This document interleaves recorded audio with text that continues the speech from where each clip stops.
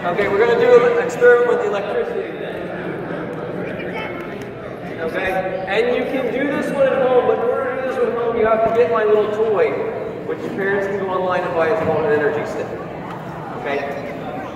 And what it has is a little thing that makes noise inside and a couple lights that light up. But in order to do that, the battery has to send electricity to it. And electricity only works if electricity has somewhere to flow in a circle.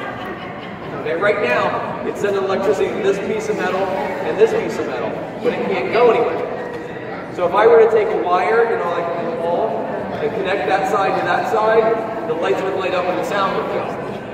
But I don't have a wire. So I've used something else that conducts electricity. You know what conducts your electricity? Your hands. Your body.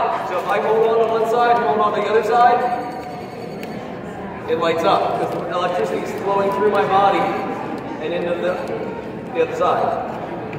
Okay? Now, it doesn't just work with me though. I need Coach Omar's help.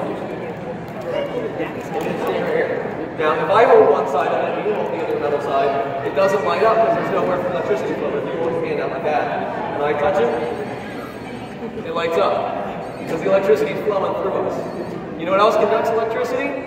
Water. So if I stick my finger in the water and he sticks his finger in the water, lights up.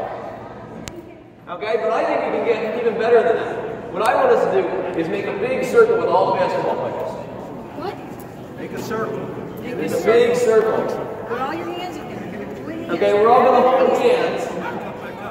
You guys got to get them all. Where Coach Omar? I'm right here. Grab grab hands, grab both hands, grab hands, hands. Okay, we're all going to connect together and make a big circle. Somebody's not holding hands. Lucas. Please not hold hands. There we go. Look, we made a circle. It's lighted up. Okay? Now how do we do that? It went through all of our bodies. We all work together to light up the lights.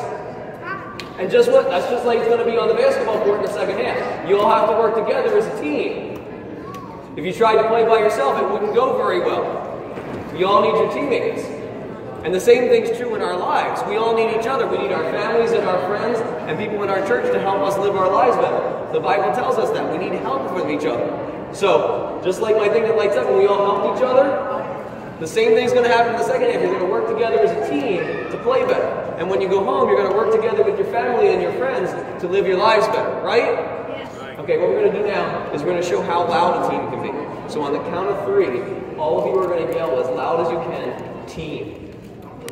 I'm serious, as loud as you possibly can. Outside voices, knock off the ceiling. Ready? One, two, three.